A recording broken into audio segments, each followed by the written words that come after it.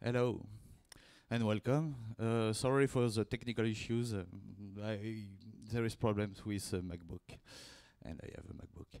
And um, uh, I'm Guillaume Salou. I'm the team leader of machine learning, machine learning services at OVH Cloud. And today we will talk about uh, machine learning at scale with OpenStack. And I will discuss about machine learning with you. And uh, first, I will talk about OVH Cloud. Uh, as you may guess, we are a cloud company as well, and we have more than 300,000 uh, physical servers all around the world.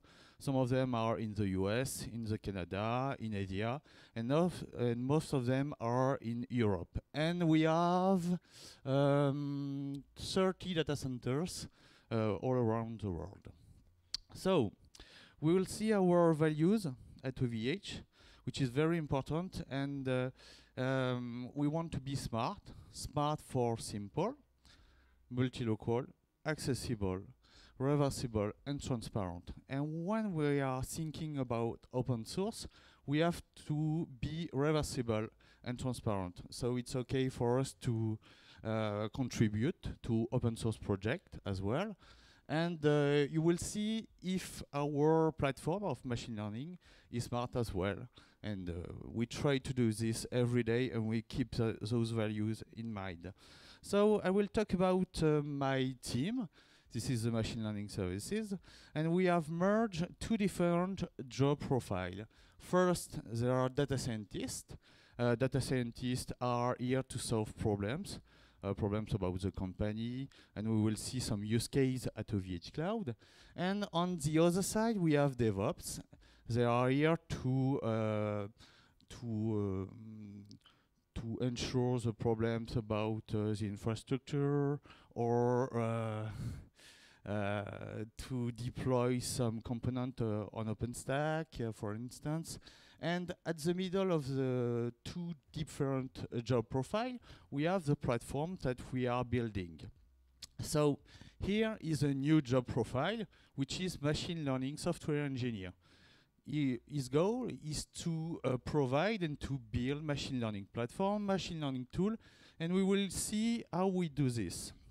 So we'll start and talk about machine learning to be sure that we will talk about the same things and we will show one example, and we will so show after this how we deploy it at OVH Cloud, and after this, the machine learning development process, and how a machine learning platform can um, can simplify the deployment and the machine learning development process, and how we are building it upon OpenStack and at scale. So, here is a little picture about what is machine learning. I let you read uh, this. So, we will take an example with Homer. And, uh, oh no, sorry. Uh, in definition, um, uh, machine learning is only a function. A function as f and x as input, and we will return y. So there is some code between this.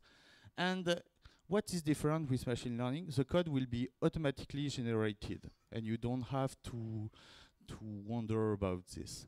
So we will take the example of Homer. Here is the Homer of the Odyssey and here is Homer Simpson. And we will try to train a model and to do some image recognition about uh, which Homer uh, we want to find.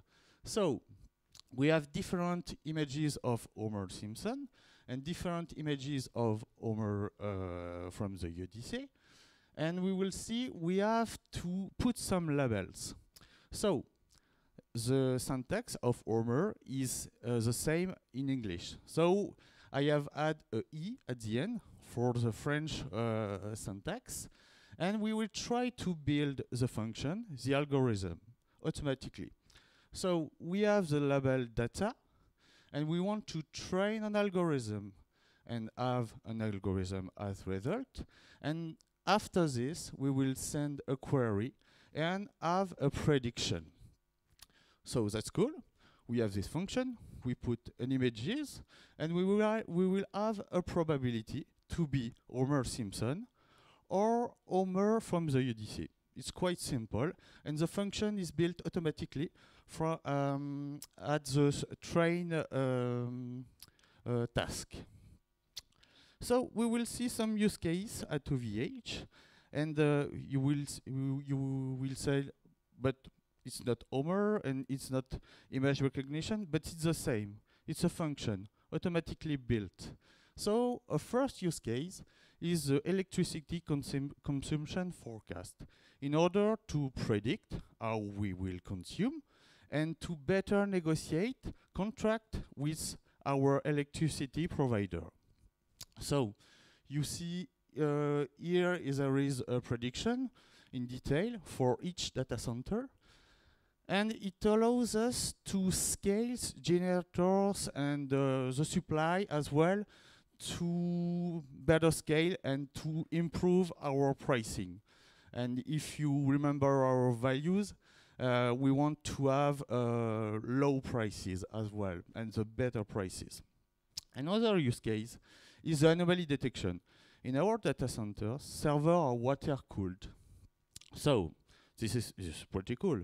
But we have to uh, take care about the temperature.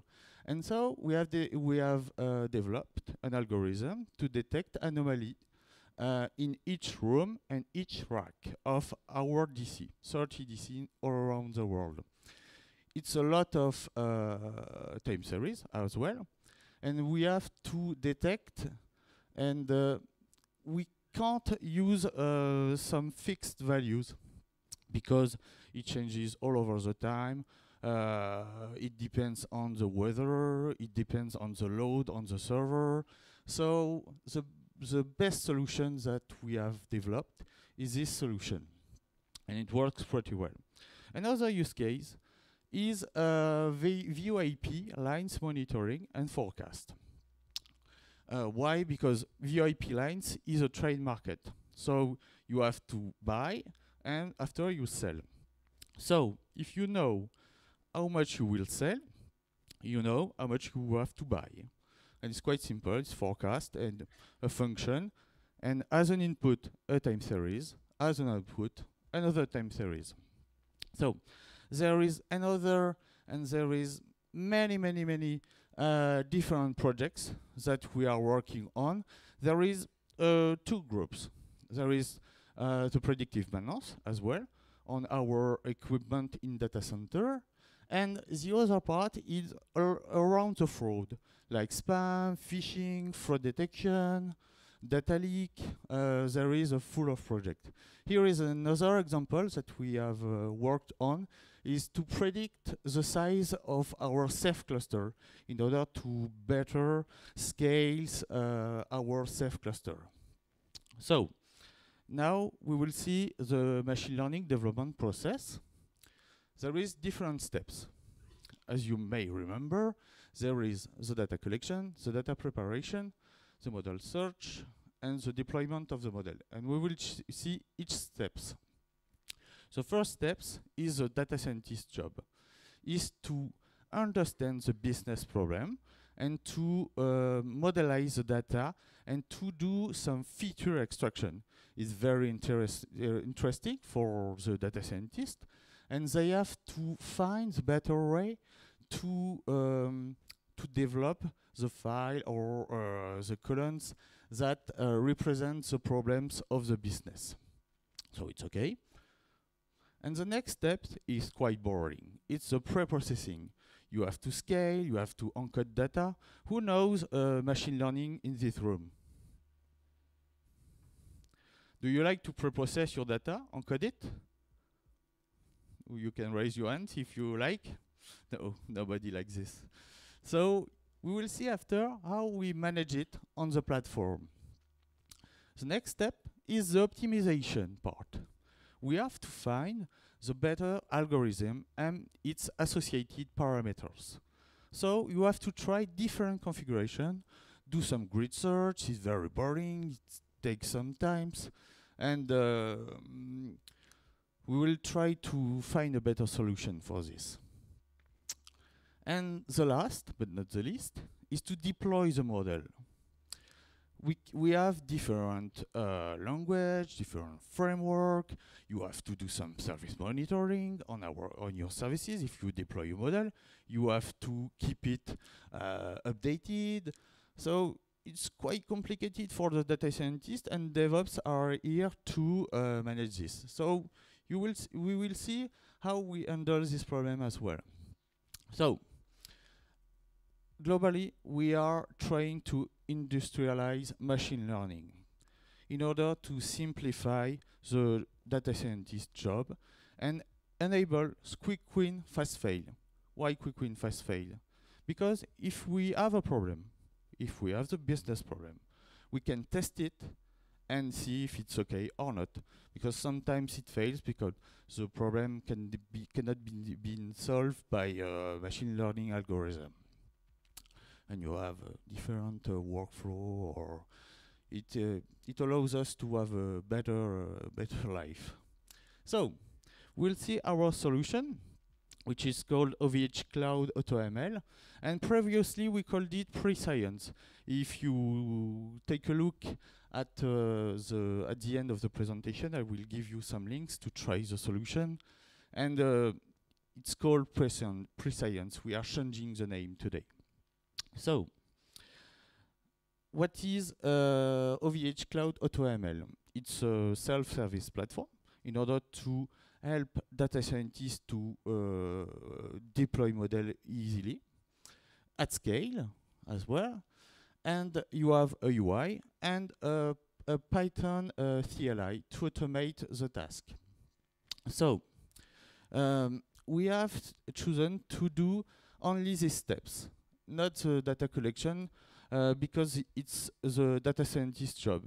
He have to prepare the data, to put in the platform, and let him let uh, let it work.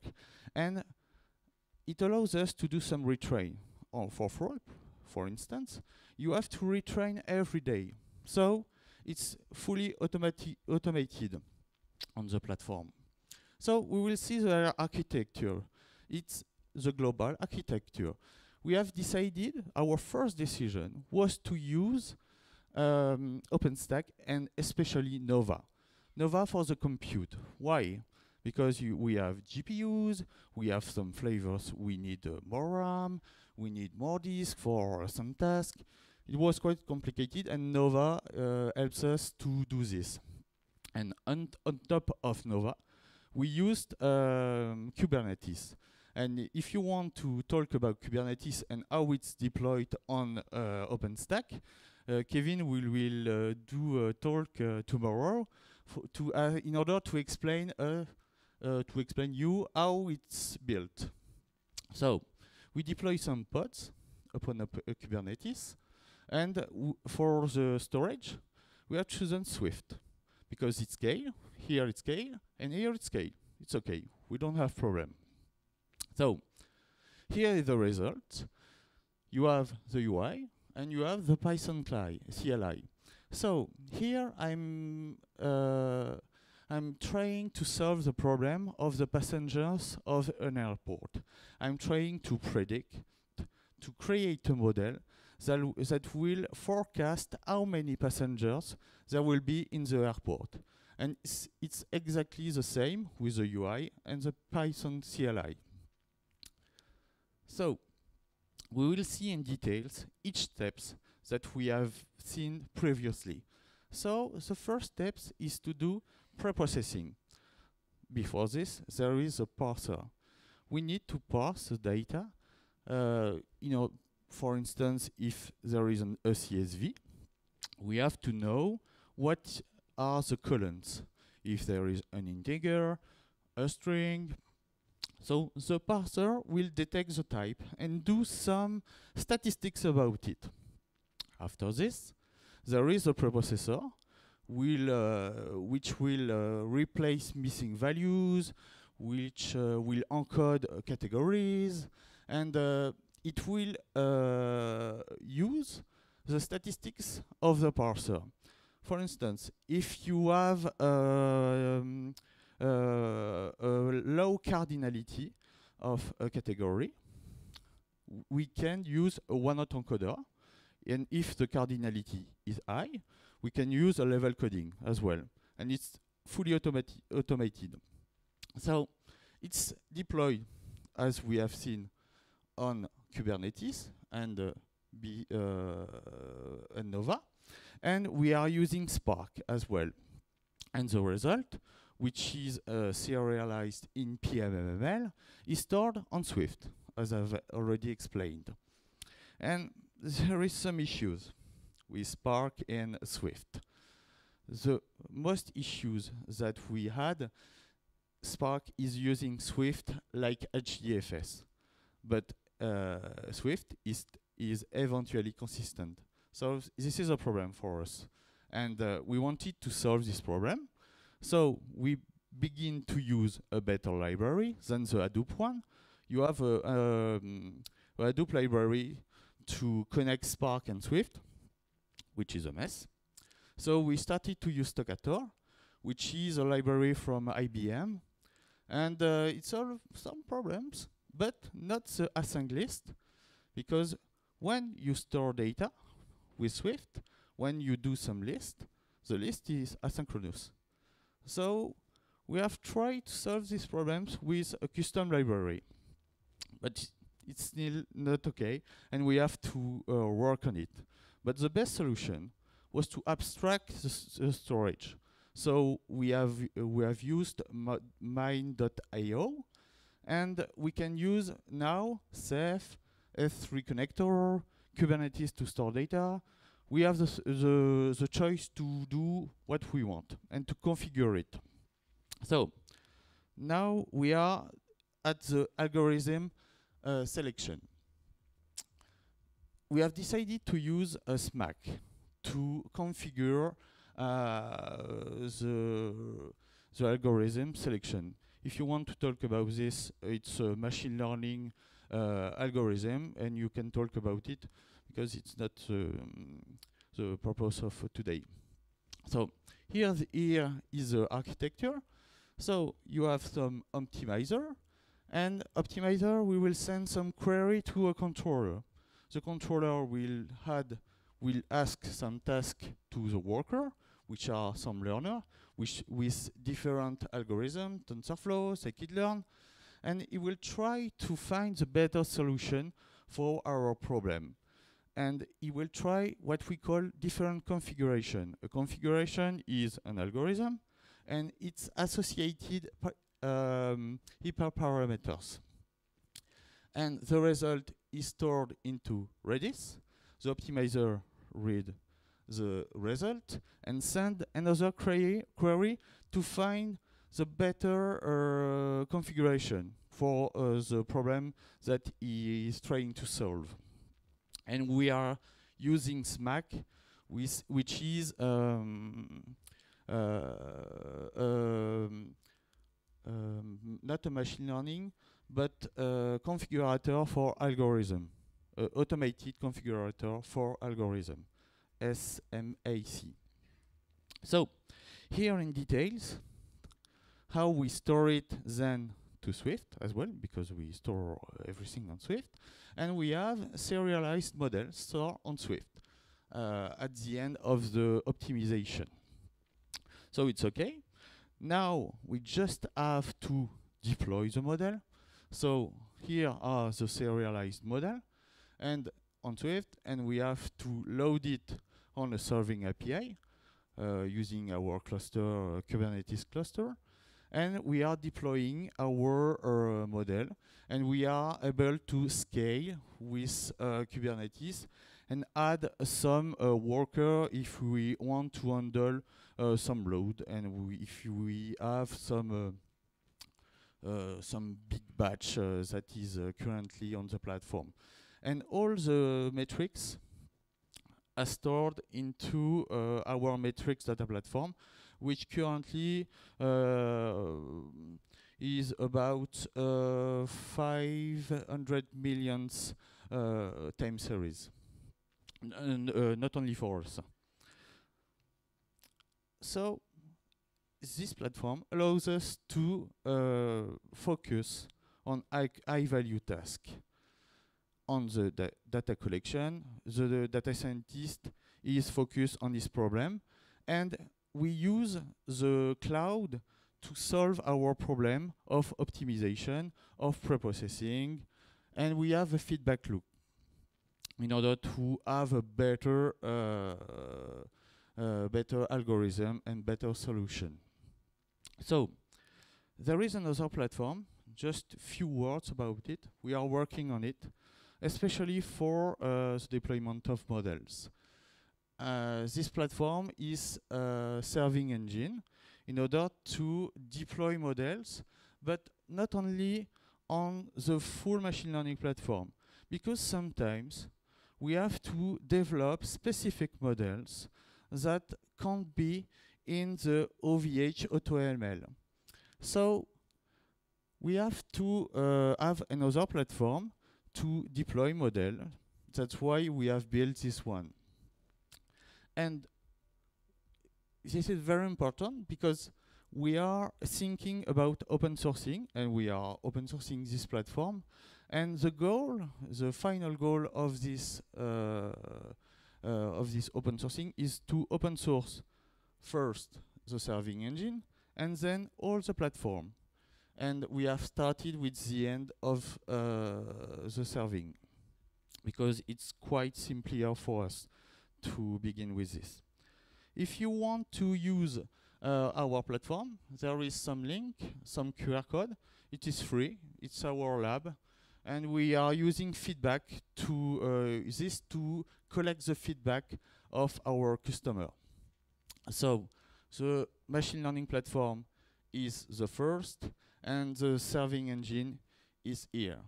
And uh, we will open source in about one month this platform and I don't know for the for the it's uh, I don't know right now, but uh, about in six months we we are working on it. And uh, um, a few words, we are hiring. So if you're interested in uh, OpenStack and you want to, uh, to work with cool people and all around the world, uh, here is a link also you can apply and you have a job description uh, about uh, which is uh, avail available. So thank you.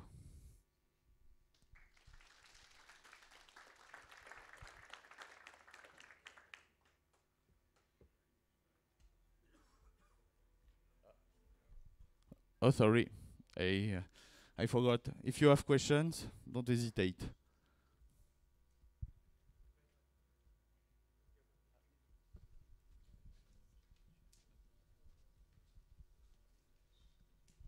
Thank you. Uh, perhaps I missed it, but um, you never talked about that you have hardware capabilities down there supporting your machine learning things like using of virtual GPUs and things like that. You don't do this simply, or you have it and you just mention didn't mention it, or I was falling asleep. No, sorry, I didn't. It was very interesting, actually. Thank you.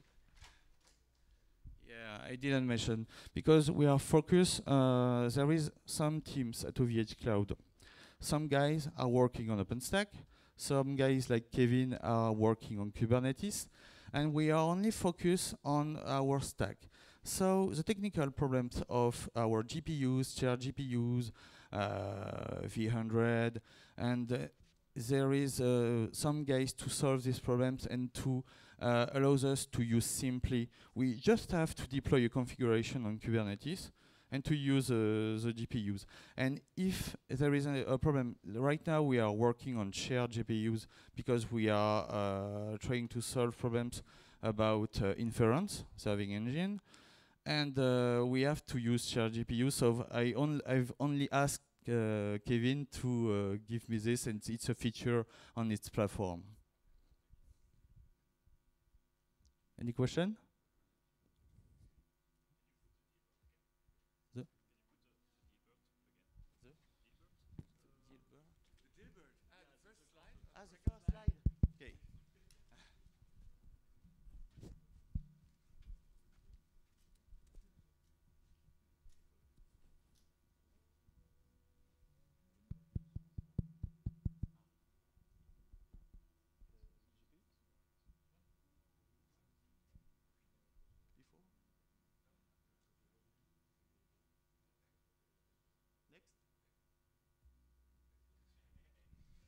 Hey, I have a question.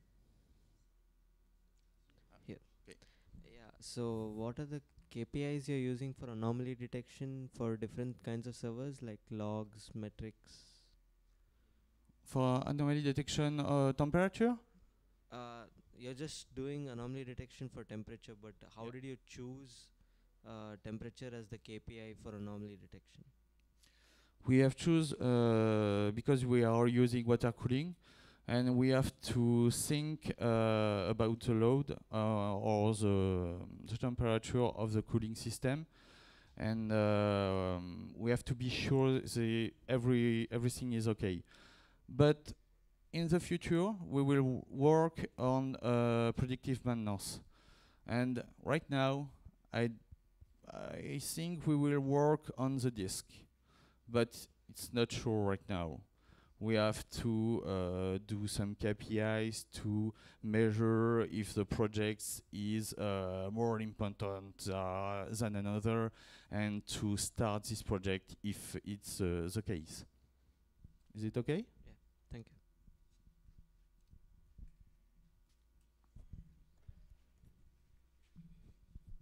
Hi. So I know that you uh, said that you store the results in Swift. Where do you keep the uh, training data? The Uh, the training data.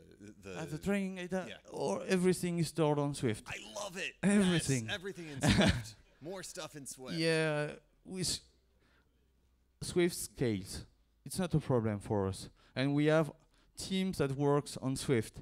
That's why we have chosen Swift. We don't have to worry about this. It's okay. Only with Spark, and we are trying to solve this. Cool. Thank you.